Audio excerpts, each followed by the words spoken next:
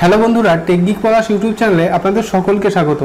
আজকে আমি এই ভিডিওর মাধ্যমে একটি খুবই গুরুত্বপূর্ণ বিষয় নিয়ে আলোচনা করব। আশা করি ভিডিওটি আপনাদের ভালো লাগবে।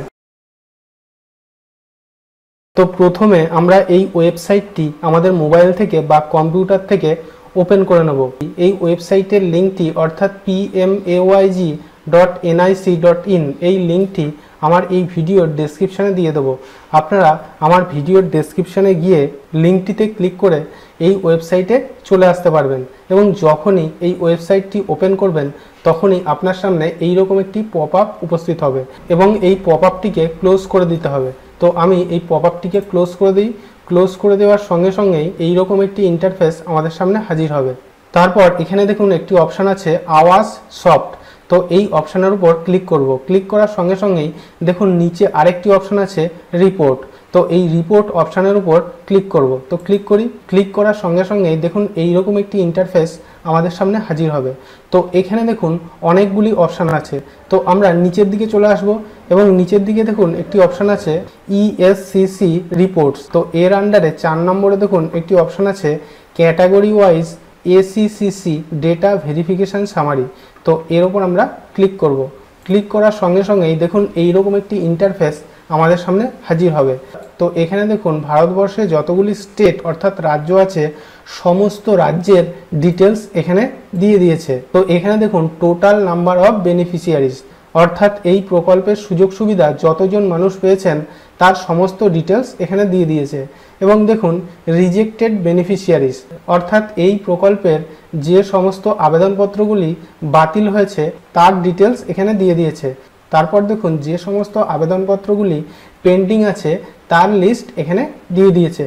তো আপনি যদি আপনার এলাকার সমস্ত ডিটেলস দেখতে চান, তাহলে এখানে দেখুন, একটি অপশান আছে সিলেকশন ফিল্টার্স তো এর নিচে দেখুন অল স্টেট এখান থেকে আপনার যে রাজ্য, সেটি এখান থেকে সিলেক্ট করতে হবে। তো আমি এখান থেকে ওয়েস্ট বেঙ্গল সিলেক্ট করলাম। তো ওয়েস্ট বেঙ্গল সিলেক্ট করার পর নিচে দেখুন, জেলার একটি লিস্ট দিয়ে দিয়েছে। তো আপনি যে জেলার অন্তর্গত সেই জেলাটি সিলেক্ট করতে হবে। তো আমি নদিয়া সিলেক্ট করলাম। তারপর দেখুন, ব্লকের একটি লিস্ট দিয়ে দিয়েছে। তো আপনি যে ব্লকের অন্তর্গত সেই ব্লকটি আপনাকে সিলেক্ট করতে হবে। তো আমি এখান থেকে চাকদা সিলেক্ট করলাম। তারপর নিচে দেখুন, আপনি যে অঞ্চলের অন্তর্গত সেই অঞ্চলটিকে আপনাকে সিলেক্ট করতে হবে। তো আমি এখানে চাঁদুরিয়া ওয়ান সিলেক্ট করলাম। দেখুন, নিচে একটি ক্যাপচা আছে। তিরাশি থেকে সত্তর মাইনাস করলে কত হয়? সেটি আমাদের নিচের যে বক্স সেই বক্সের মধ্যে লিখতে হবে। ক্যাপচাটি পূরণ করার পর নিচে দেখুন সাবমিট বলে একটি অপশান আছে। এর ওপর আমাদের ক্লিক করতে হবে। তো সাবমিটে ক্লিক করি।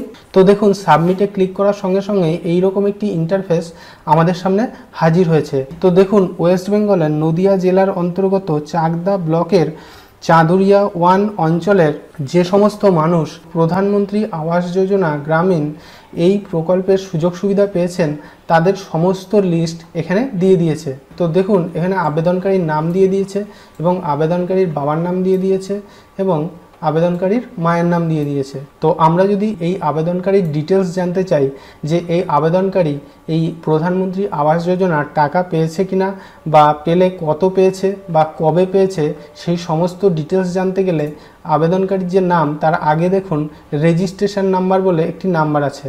তো এর ওপরে ক্লিক করতে হবে। তো ক্লিক করি। ক্লিক করার সঙ্গে সঙ্গেই দেখুন এই রকম একটি ইন্টারফেস আমাদের সামনে হাজির হবে। তো দেখুন এখানে বেনিফিশিয়ারির নাম দিয়ে দিয়েছে এবং বেনিফিশিয়ারির সমস্ত ডিটেলস এখানে দিয়ে দিয়েছে। তো নিচে দেখুন বেনিফিশিয়ারির যে ব্যাংকের ডিটেলস অর্থাৎ কোন ব্যাংকে তার অ্যাকাউন্ট আছে, সেই অ্যাকাউন্ট ডিটেলসও কিন্তু এখানে দিয়ে দিয়েছে। তো নিচে দেখুন এই বেনিফিশিয়ারি এই প্রধানমন্ত্রী আবাস যোজনা এই প্রকল্পের মাধ্যমে কত টাকা তিনি পাবেন, তাও কিন্তু এখানে দিয়ে দিয়েছে এক লাখ কুড়ি হাজার টাকা। এবং এই এক লাখ কুড়ি হাজার টাকা কিন্তু তিনি একবারে পাবেন না। এই এক লাখ কুড়ি হাজার টাকা তিনটে কি চারটে ইনস্টলমেন্টে তার ব্যাংক অ্যাকাউন্টে দেওয়া হবে। তো নিচে দেখুন, তিনি এখনও পর্যন্ত ষাট হাজার টাকা অর্থাৎ একটা ইনস্টলমেন্ট পেয়েছেন। তো দেখুন, সরকারের তরফ থেকে এই ষাট হাজার টাকা তাকে কবে পাঠানো হয়েছে এবং নিচে দেখুন, তার ব্যাংক অ্যাকাউন্টে কবে সেই টাকাটি ঢুকেছে সেই ডেটটিও কিন্তু এখানে দিয়ে দিয়েছে।